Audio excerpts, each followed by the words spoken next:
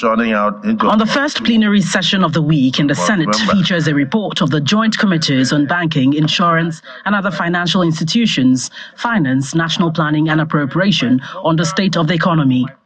The report, which also emerged from an interaction with the president's economic management team, recommended the urgent need to bring down inflation. This issue of high cost of living is real. All of us here operate from the market, whether you go directly or you, you say your relative or your stewards. My problem, sir, is that the, the agreements already reached between the federal government and labor with regards to the 35,000 naira increase in salaries. I was told as of yesterday it was only paid twice. What is happening to the uh, additional naira that is accruing, that is accruing to the federation account? Even local governments, their grants, their allocations their, uh, from the federal, uh, from the federation account has increased. They should also go out there, procure grains and distribute. This I mean, the, what we have at hand is not the sole responsibility of the federal government to solve. The entire system must come together, must collaborate to make sure we do the needful. Before we conclude this debate today, the rate of Naira may have moved to 1,900. What does this suggest? We're in a state of emergency when it comes to management of our economy. Something must be wrong. The debate gathered momentum following recommendations for further investigation into the 10 trillion naira anchor borrower scheme, as well as the federal government's ways and means loans.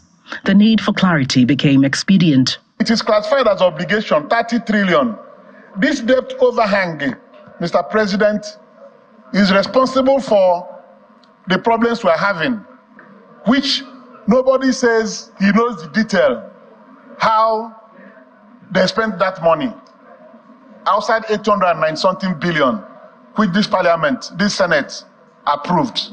We have colossal amount of money given to the banks, and this amount runs into trillions of naira.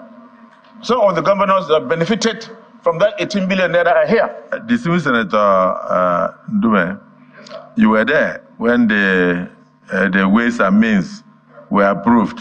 Check. I was not there. Check the record. And as I said, number one, wait now. You cannot. I repeat, you cannot approve illegality. What they did was illegal. The Senate doesn't have the right. Let it be on record. I was not there. I was not there. Check the record. I was not there, but you were there. I, eh, but I was not there. I was not there. No one wanted to be culpable, but everyone was interested in the unfolding narrative. However, the former president of the Senate clarified the figures before a resolution is taken. What the Ninth National Assembly approved or ratified in terms of ways and means was not 29 or 30 trillion. It was 22 but there was 819 billion to attend to, to deal and address very serious infrastructural uh, dilapidations that we had across the country. So if we have a ways and means that is 30 today, that means something happened between then and now.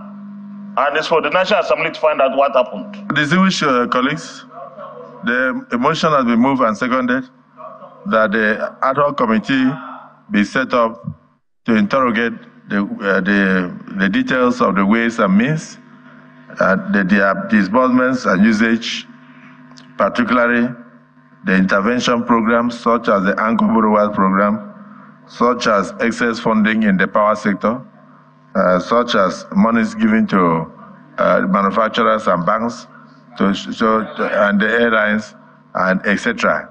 To show up, which of course uh, uh, increase the current uh, uh, debt profile of the country. Now, investigating the legality or otherwise of the Ways and Means loans was just part of the recommendations. The Senate committee also canvassed for more security, technology, and incentives to farmers to boost agriculture productivity. Gloria Umezoke, Channels Television News.